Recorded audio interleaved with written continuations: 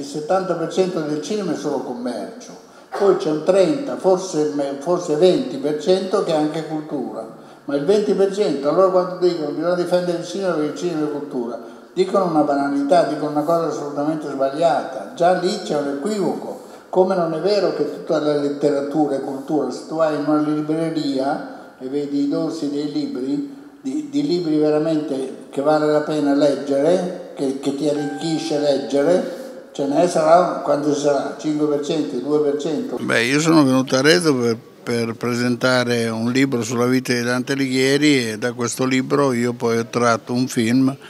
che uscirà a febbraio. Con quali interpreti?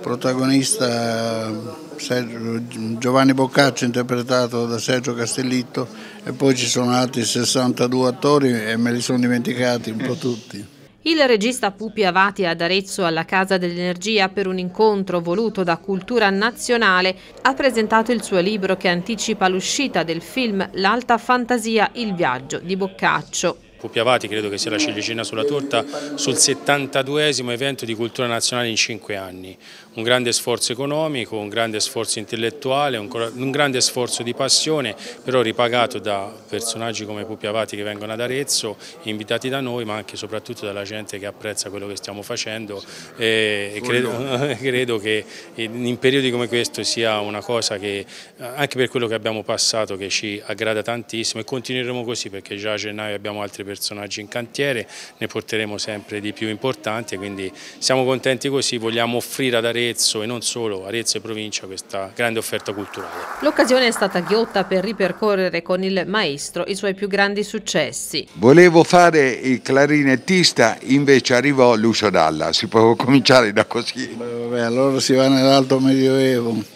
si va in un periodo della mia vita eh, molto distante, siamo negli anni 60 a Bologna, quindi sono passati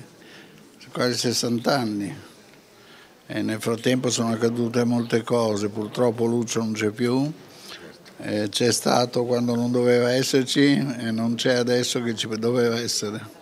Senta maestro, eh, come mai lei ha sempre saltellato tra la commedia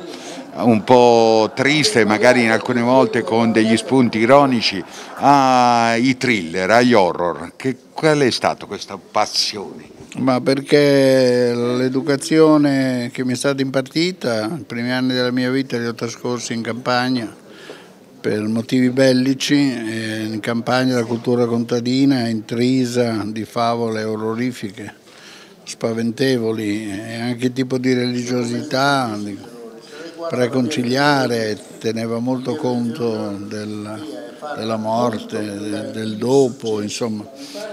tutte cose che mi hanno sedotto e che continuano ancora a sedurmi a volte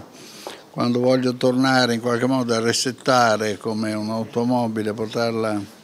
a fare il check, faccio un film gotico e mi rendo conto se sono ancora in grado di spaventare, se sono ancora in grado di riprodurre inquietudine. La Fondazione Fellini è stata importante per lei? La Fondazione Fellini è stata molto importante perché siamo riusciti a portare Fellini al Guggenheim su tutti i suoi disegni e riuscimmo addirittura a acquistare il libro dei sogni che è ora patrimonio della Fondazione. Purtroppo poi a un certo punto a Rimini hanno incominciato a mettere in discussione, quindi si è tutto un po' dissolto.